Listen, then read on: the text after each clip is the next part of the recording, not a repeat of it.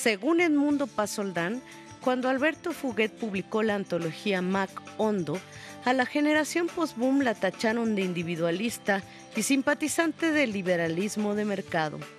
Hoy, los nacidos en la década de los 80 en América Latina ya no cargan el peso del boom sobre sus espaldas. Parece que no tienen nada que explicarle a nadie.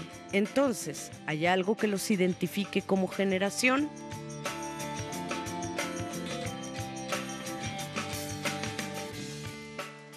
Somos la generación hija de la internet. Me parece que también tenemos como el alcance muchísima información que por ahí en otras épocas no había.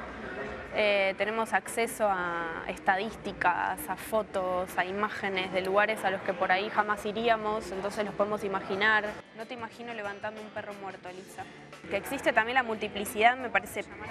Yo no solamente escribo narrativa, también escribo teatro, dirijo teatro, he actuado.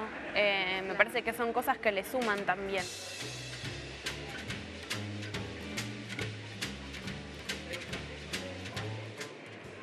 Yo creo que no hay una sola temática, no creo que haya algo, eh, porque siento que la literatura en, nuestras manos, bueno, en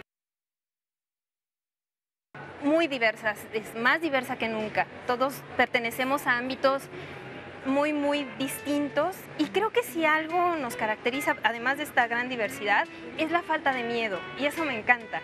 Creo que se ha escrito mucho, hemos leído mucho, hemos publicado, publicado en el sentido de eh, eh, externar la voz gracias a los medios que todo el tiempo están ahí con su vértigo.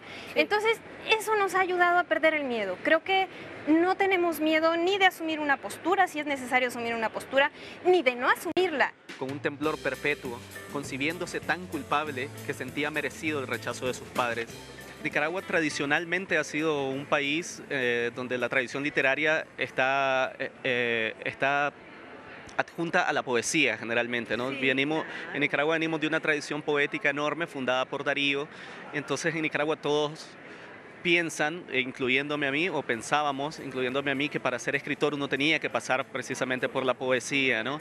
Hasta este momento es que está habiendo un despertar y un despunte de la narrativa en Nicaragua más jóvenes han visto esa necesidad de contar, historias, ¿no?